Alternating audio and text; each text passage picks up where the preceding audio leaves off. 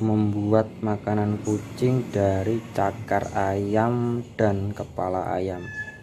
Ini nanti kita presto kurang lebih 40 menit sampai 50 menitan. Dan setelah itu kita nanti giling sampai halus. Oke tunggu ya nanti videonya sambungannya lanjutan ini nah ini dia. Sudah 50 menit.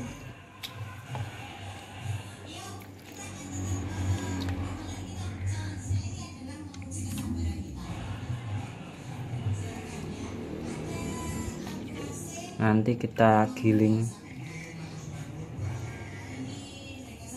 dengan saringan yang paling lembut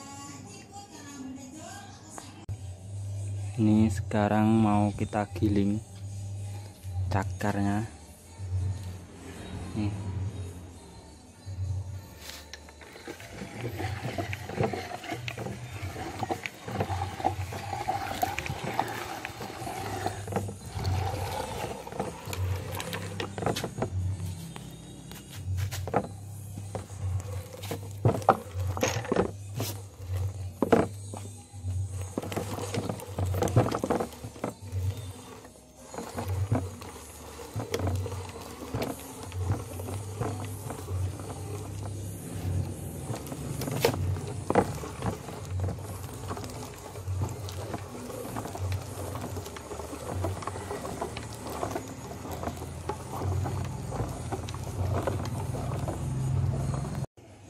ini hasilnya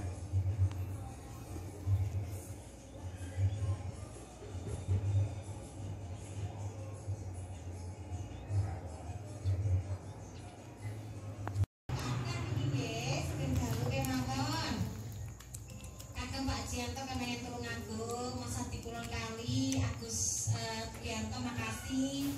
Ada juga